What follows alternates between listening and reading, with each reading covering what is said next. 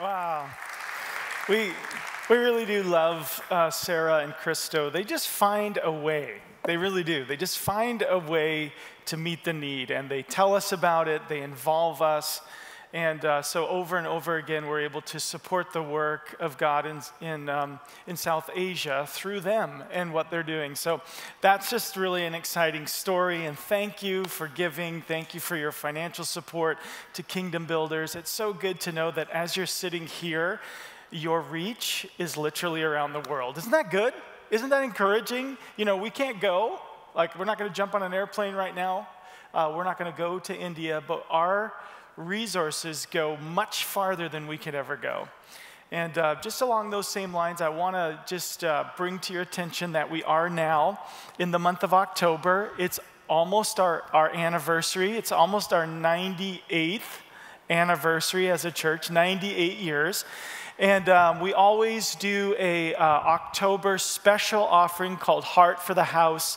And um, it's connected to Kingdom Builders in helping us with what we do in local church expansion and so on but I want you to now be thinking about Heart for the House. It's coming, our special offering will be the third week of October. And so if you can begin to prepare yourself for that, it's a over and above giving opportunity to give uh, to the house for the work that we're doing here and, and uh, what we're doing on the project. So we'll be giving you some updates on what's going on in the facility and what we're attempting to do. So I just want to say hello to everybody watching online with us as well. So good to have you here with us. This is is week number four in our series that's entitled Homecoming.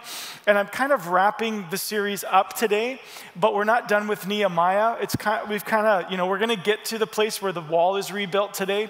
But then next week, um, we're going to start with another layer of sort of the heart behind the story of Nehemiah. What was motivating them? What was in their hearts as they were building, as they were preparing? So it's going to be a fun time in the series. So we're going to stay with Nehemiah. But where we are right now is we're we're going to get to the point where the wall is rebuilt. And, and we've been making a parallel between the rebuilding of our lives and the rebuilding of the wall uh, in Jerusalem through the story of Nehemiah. We've also been kind of connecting that to rebuilding the church and many of the things that we're attempting to do here at the church. And so there's a lot of connection points here. I just want to be very clear not everything is rebuilt at GT Church. Not everything is rebuilt. It doesn't just take four Sundays for us to be back, but God is working, and there's wonderful stories of things that are being rebuilt. Pastor Chris talking about a hundred new people in small groups. That's those are signs of rebuilding. God is doing a great work through His church. We're going to talk about the concept of doing a great work today. This week, is a little bit crazy. We're going to be in chapter six, and it's sort of like a soap opera with all kinds of backstory. There's a murder plot. There's all kinds of really exciting, intriguing things that happen in chapter six. And so we're going to be looking at that. Just let me catch everybody up very briefly. Nehemiah was the cupbearer to the king of Persia, so he had a place of influence. He, was, he asked the king if he could go back to Jerusalem to rebuild the wall around the city so that they could be protected and safe. And he was given that permission. He traveled the thousand miles. He starts the rebuilding. Um, there's a great swell of support. There's an exciting, you know, sense of, of teamwork. They get the wall half built. They start to have opposition and they grow discouraged. But we're going to be in chapter six today, and we're going to see sort of the end of the building, the completion of the building. It says, When the word came to Sanballat, Tobiah, this is verse 1 of chapter 6, Tobiah, Geshem the Arab. I'm just going to stop for a minute because I introduced you last week to the three antagonists in the story. The three people, uh, I introduced you to two, and I'm bringing in the third today. Two people who were standing against Nehemiah and his rebuild. One was Sanballat, one was Tobiah, and now we see the third. His name is Geshem the Arab. So let's keep going. When the word came to these three, and the rest of our enemies that I had rebuilt the wall and not a gap was left in it, though up to that time I had not set the doors in the gates. I'm going to leave you on a cliffhanger right there. We're going to stop there for just a minute. What did we just read? He's almost done. He's like really making tracks. I mean, he's got the, the wall completely re- rebuilt, no gaps left in it. The doors are not quite in place yet, but he's almost totally done. And here's what I want you to think about the closer that you get to God's goal, the harder the enemy will fight to stop you. And that's a truth. That's a truth because it's something that we have experienced over and over again. It seems like that last little bit of the marathon, the heartbreak hill at the end of the marathon. I remember that back in 2007, last time I ran a marathon. And, and I remember getting to that point where it's just like, oh, you hit the wall. I mean, there's a sense at times that the opposition intensifies as you come to the close. And you receive the opposition not because you're doing something wrong, if you remember from last week, but because you're doing something right. This opposition is right there in your face. And so for some of you, you know, it's like you're getting ready to go to small group and all of a sudden your kid becomes sick and you can't go. Or you're, you know, um, the classic one is you're married and you're on your way to church and you have a big fight and then you sit down to worship God, right? How many of you ever had that experience? Experience, yeah. And I've told you a solution. I've told you this before. I'll tell you again. Lisa and I never, ever fight on the way to church because we take separate cars. It works great. I mean, we're not going to fight on the way to church because we're not even in the same vehicle together. You know how it feels to be coming to the end. You're kind of getting to the end of the goal, but it feels like it's really intensified. It's really hard. It's really difficult. The closer that you get to the goal, the harder it feels like it is. And that's that, you know, final 10 pounds that you're trying to lose, but then there's that tub of ice cream in the freezer. It's just so hard. I want to talk to you about two strategies of your enemy and what he will attempt to do in order to stop you when you're almost done.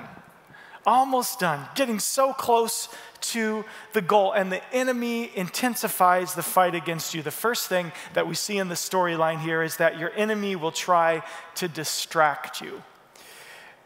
Distractions uh, we live in a culture of distractions. I don't know that it's ever been easier to be distracted. And the truth is, is we have begun to orient our lives around literally enjoying, expecting, waiting, wanting a distraction.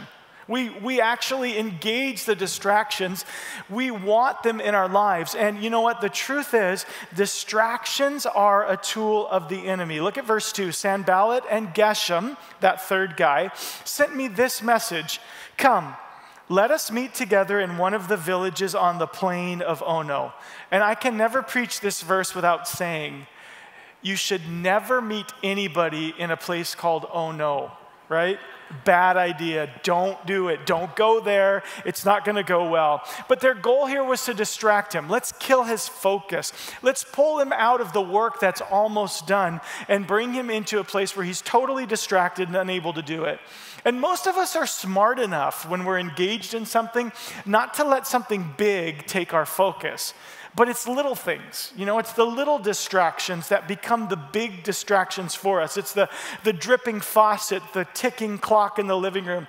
It's the sitting down to our computer only to have our phone ding about some sort of Facebook message that we got and begin the scroll. You know what I mean? The endless scroll. It goes on. It is how deep is the rabbit hole? I don't think any of us know. You can scroll forever, right? I mean, and sometimes it's good things that are distractions to us.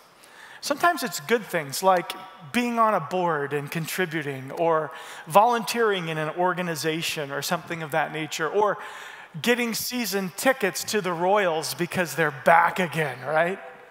I mean, it can be good things that can become distractions for us. But like Nehemiah, we have to also refuse distractions. We have to refuse them because they will be plenteous. There's no doubt about it.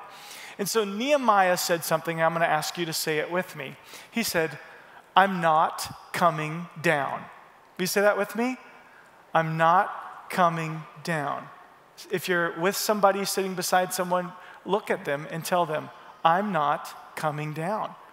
They'll have no idea what you mean, but it's great. You just tell them, I'm not coming down. Let's look now on into Nehemiah's story. But, about the plain of oh Ono, but They were scheming to harm me. So I sent messengers to them with this reply I'm carrying on a great project and cannot go down. I'm not coming down, he said. Why should the work stop while I leave it and go down to you? I'm not going down to the plain of, oh no, I'm going to stay up here where the work is. I'm not going down into that distraction. I'm going to stay up here where God has called me. I'm not going to deviate or dive or submerge myself in something other than what it is that God has called me to do. I'm not coming down. I'm carrying on a good work. We're not coming down at church. We're going to keep on going. We're going to develop leaders. We're going to launch small groups. We're going to help people take their next steps. We're going to reveal the life giving message of Jesus. We're not coming down. And for you, it's the same. You want to start that new outreach, you want to disciple your kids.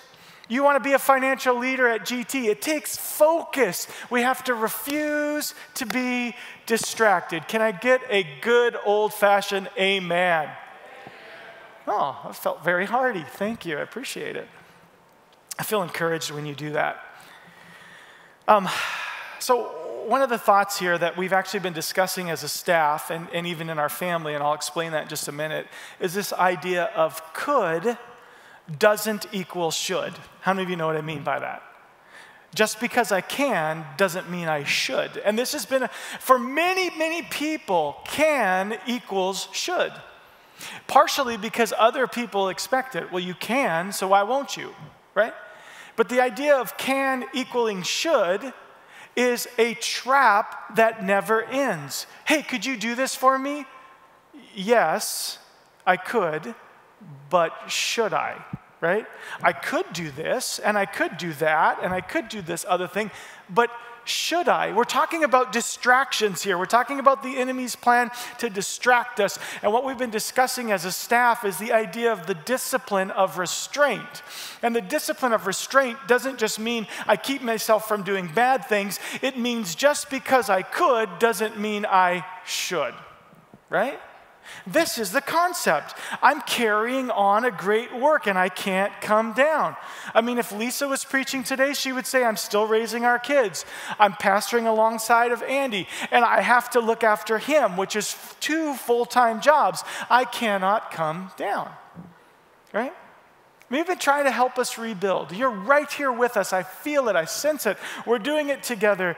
But we have so many activities. We have so many commitments. You feel it rising up. And some of you are going like, oh, can't we go back to lockdown so I can say, sorry, can't come, right? We've been wrestling with this one with our children a little bit because we said to our kids, you kids, you have to choose what you're going to lose. You can't keep it all. You can't do it all. And so we have to change our and to an or. You know what I mean? So I, uh, our kids want to play night league basketball and do hockey and uh, uh, play an instrument and go to lessons and do school sports and activities and do church and youth group and kids ministry and and and. Anybody know what I mean? You feel it? Yeah, and. So we have actually said to our kids this year listen, do you remember that feeling? That feeling when you come home from school and you just want to flop down on your bed and cry because you can't just relax at home today and do your homework and, and, and just have a snack after school. You got to go, you got to go, you got to go because there's another thing to do. We're to fight against that. And we're to say that we're not to do this and this and this and this. We're to choose what we're to lose. So, what is it that we're not going to do? What is it that we're going to say no to because could doesn't necessarily equal should? And this has been something we're practicing in our family, and it's a way for you and me, us together, to fight distraction. It makes you narrow the focus and choose something, okay? You hearing me? Okay, second strategy of the enemy. Second strategy of your enemy when it comes to trying to stop you as you're getting close to the goal is that the enemy will try to discredit you.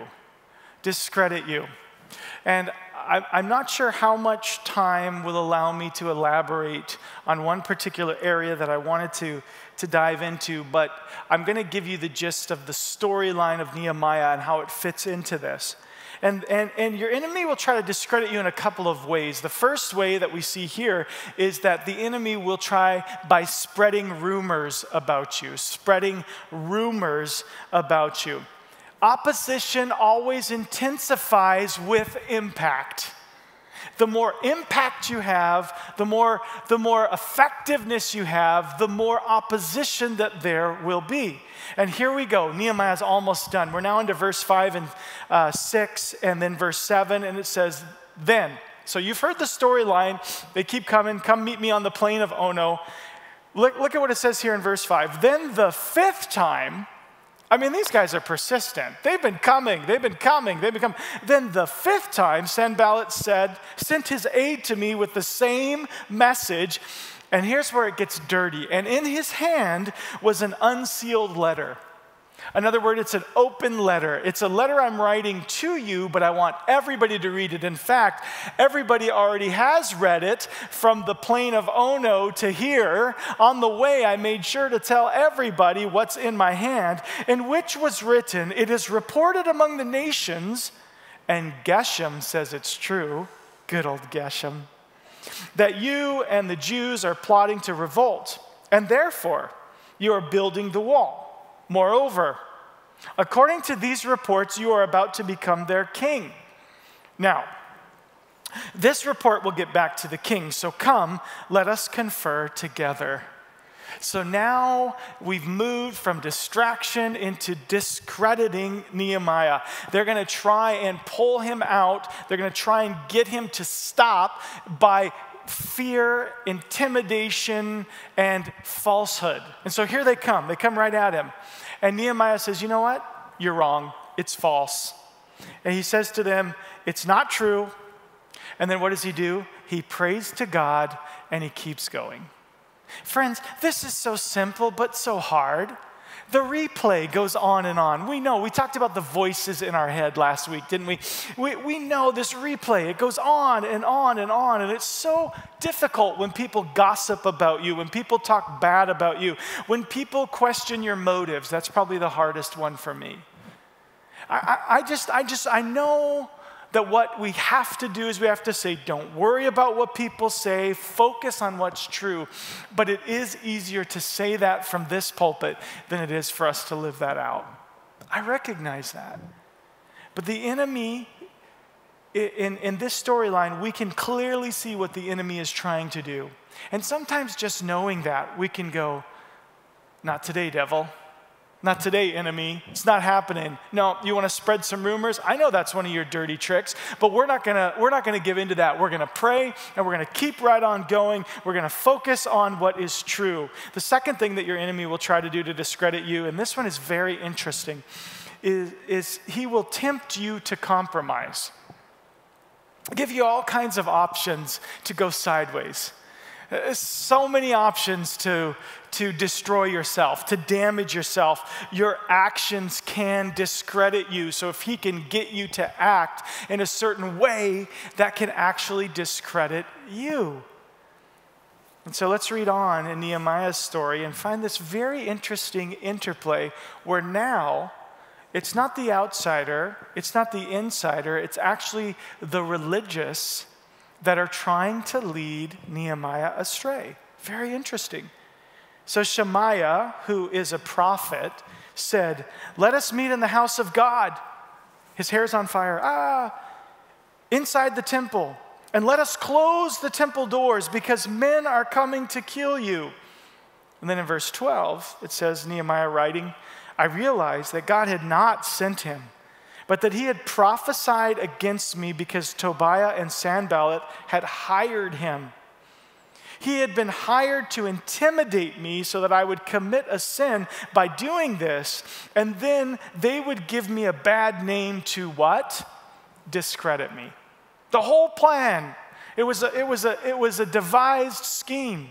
One didn't work, the gears shift over here, and on we go. Let's find a way to damage Nehemiah's character. Let's discredit him. But some of you are scratching your head and saying, I don't get it.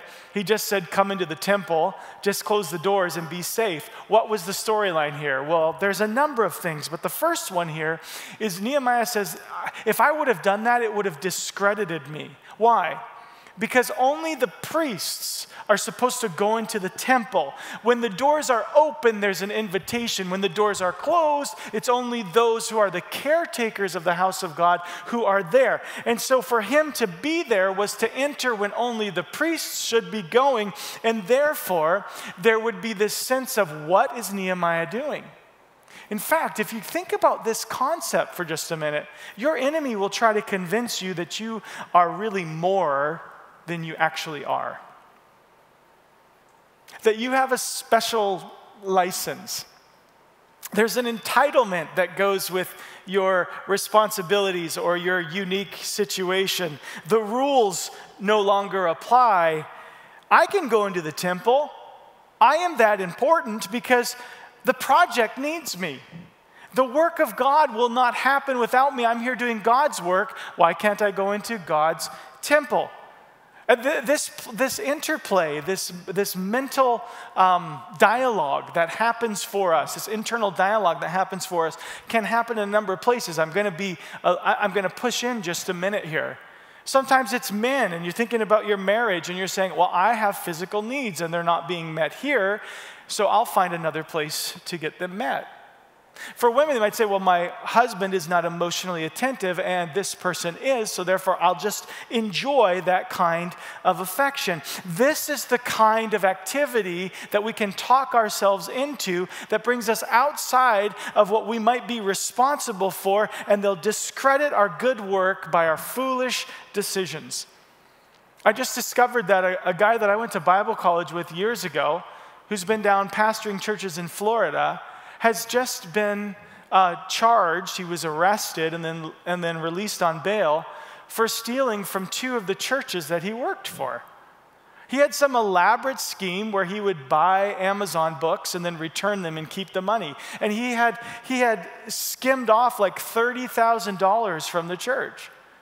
And, and I'm just bringing that I'm just bringing that up to the surface, not to, not to shame the church or to shame the pastors in the ministry, but just to say this person was functioning with an unhealthy sense of autonomy and without accountability. Somehow he felt that the rules did not apply. I was shocked by this.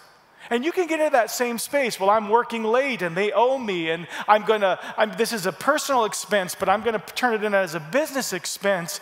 All of this can lead to your own discrediting because there's a sense of entitlement that leads to abuse of power, that gives us permission in sexual temptation, that causes greed to rise up in our lives. You see, much of our actions the enemy wants to play on in order to discredit us. Are you hearing me today? But Nehemiah made a decision. And Nehemiah said, Oh, no, no, I'm not going out like that. No, no, no, no. I'm not going to give up in the middle of this. That was the next thing he says. I'm not giving up. I'm not going to throw in the towel. I'm not going to allow these circumstances to discredit me. Hey, Nehemiah, come into the temple. They're going to kill you. Come and hide here. But I said, Should a man like me run away? Or should one like me go into the temple to save his life? I will not go. What was Nehemiah doing here? He's saying, no, no, no. That's not integrity. That's not character. That's not what got me this far. And I'm not going to allow the enemy's trick to work now. I'm functioning under a great cause. I have a great work that I'm doing and I'm rebuilding this wall, and I'm not going home until it's done. I'm not giving up until it's finished. I'm not going to give up my good name. I'm not going to give up my integrity. What am I going to do? Leave the people without a leader?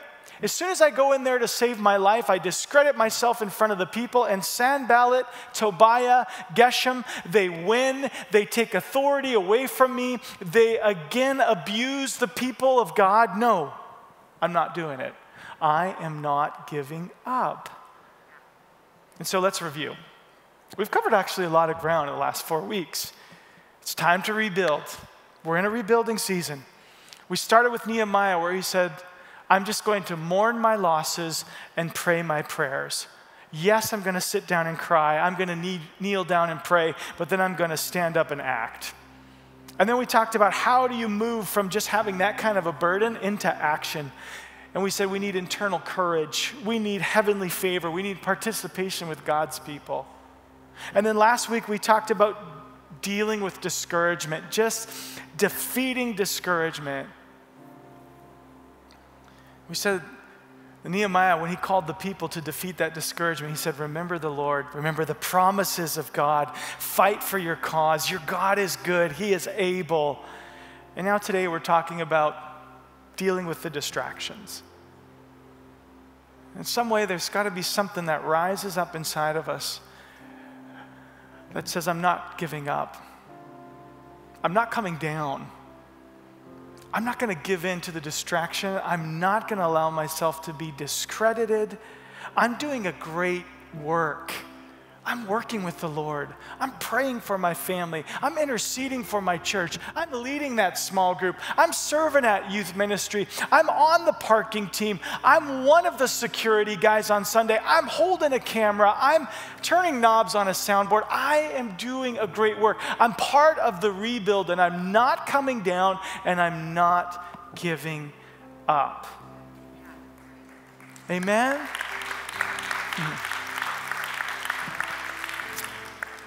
Nehemiah 6:15. So the wall was completed on the 25th day of Elul in 52 days. Verse 16, when all our enemies heard about this, all the surrounding nations were afraid and lost their self confidence because they realized that this work had been done with the help of our God. You see, this part of the story ends with a testimony to the awesome, great power of God. And I want you to know that's the goal in what we're doing. God gets the glory. God gets the praise. That a church can thrive through difficulty, walk through a crisis, be shut down for 70 weeks, and in the process finish one part of a remodeling project and start another. And God's people return, God's people gather. We worship the living God in freedom and in joy. Come on, I just want you to feel it today. God is the one who's going to get the glory. Amen? God is getting the glory. He's the one that gets the praise. It's all for Him and it's all about Him. This has been done with the help of our God. I need that story to be told in this city. There's no reason why the church should be thriving except for the help of God. And so we continue to live a testimony. Hey, there's, there's no, in this story, there's no miracles, there's no lightning, there's no talking donkeys. There's no handkerchiefs that have been prayed over with power. There's just a guy who decides that God's hand is long enough. His arm can reach, his strength is real, and he can do it. And we'll work hard. We'll come alongside of him. We'll believe and we'll persevere. And we're going to see the day one. Amen? Let's pray together. Thank you, Lord. I just, um, I just want to kind of walk us through a time of prayer. And if you're watching online or if you're here in the room, I'd just like us to do this together. Just allow the Holy Spirit to come right now and, and speak to you. Would you just even, even welcome the Lord to come and to talk to you? Lord, we're still before you. We're quiet in your presence. We're reflecting in these moments. I just wonder if, if someone's here and you just sense that you're facing resistance, even as I talk about rebuilding. You're able to reflect on your own life. Maybe there's an illness there. Maybe there's an obstacle. Maybe there's a sense of frustration about what you've tried and what hasn't worked. Maybe you feel like, I don't have what it takes to make a difference. Maybe you're here today and, and, and, and sort of through this whole season, there's been a loss of focus, almost an untethering of floating in the sea. And, and maybe there's been pain, there's been hurt in your life. Maybe you've been gossiped about. Maybe you've been derailed by temptation. Maybe even right now, today, listen, maybe today you're thinking about making a really bad decision. This could be the Lord right now. Don't do it. Don't come down. Don't give up. Just want you to hear the Lord in that. I just pray for those that may be facing that sense of resistance or that distraction or that pain or that temptation, frustration, obstacle. Lord, I pray in Jesus' name for the strength of God Almighty to come because, Lord, Nehemiah, in those times of weakness, in those times of challenge, he prayed and he kept going. So I pray for resilience. I pray for perseverance. I pray for strength. I pray for the, the discipline to work hard, to say, God, you're not done yet. Lord, I want my life to be a testimony of your goodness. Touch me, Jesus you know, I'm going to continue to pray. You might be here and, and you, you're sensing with me this passion for the rebuild. You're thinking specifically about areas of your life, but you feel a very real opposition to the purpose of God in your life right now. Now, obviously, if you're at home, I can't have you raise your hand, but if you're in the house today, in the balcony or on the main floor, and you're saying, I'm facing a real opposition right now, and I need God's help, would you just lift your hand up? Because I want to pray for you. I see hands are going up in the room. God, thank you for those hands and, and, and online, those people. You can lift your hand. Here I am, God. We're agreeing with you online, here in the room. God, I pray in Jesus' name for those who are currently facing what they would consider a real opposition from the enemy. I pray for strength. I pray, God, that you would deliver them, that you would help them to overcome in Jesus' name. You would show them where victory is for them, and you would, by your Spirit, lead them that direction. I pray, Lord, for those who are facing an opposition in their marriage. I pray for healing. I pray for coming together. I pray for unity and for peace and for healing in Jesus' name. For those who are facing opposition in their workplace, oh God, I pray that you would, in the place of opposition, bring peace in Jesus' name. I pray for those who might be facing this opposition at home, whether it's with the kids or with the finances or, or with the neighbors or whatever it might be, I pray in Jesus' name, Lord, that you would come, that you would bring your peace, that you would bring your help, that you would bring wisdom, direction, discernment, the strong hand of God upon their life in Jesus' mighty name. And now, if you'll just stay with me one more moment as we continue to pray. I just believe, I, believe with all my heart that there are some that are here today that are watching online right where you are, and God is calling you to Himself, but you've been distracted by lesser things. I want you to hear the call of God today and respond to Him. If you're here today and you don't have a life giving relationship with your Savior, Jesus Christ, I want to invite you into that relationship. If you're watching online, you can just click that hand that says, I want to give my life to Christ. If you're in this room, I just want you to know that you can whisper a prayer to your Heavenly Father. You can invite Jesus Christ to come into your life, and He will come. The Bible tells us so clearly that Jesus stands knocking, wanting to have a relationship with us, wanting to come in, to be a part of our lives, to connect with us, and, and, and to love us, to literally save us, to offer us His salvation. Receive that today. Jesus, come into my life. Jesus, come into my life. In Jesus' name. Lord, we thank you. We thank you for this story, this inspiration that comes from Nehemiah. Help us to be people of the rebuild. Help us to be those who have the strength and the capacity to see you re begin your work And Lord, bring strength, bring safety, and bring hope in Jesus' mighty name. Amen.